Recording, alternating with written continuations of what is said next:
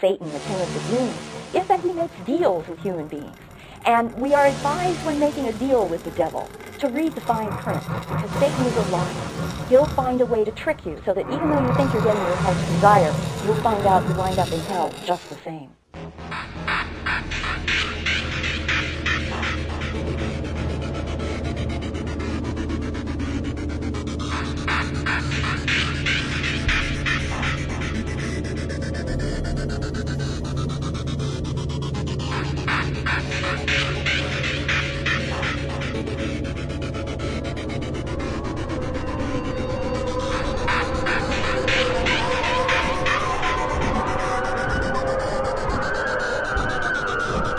There are in this world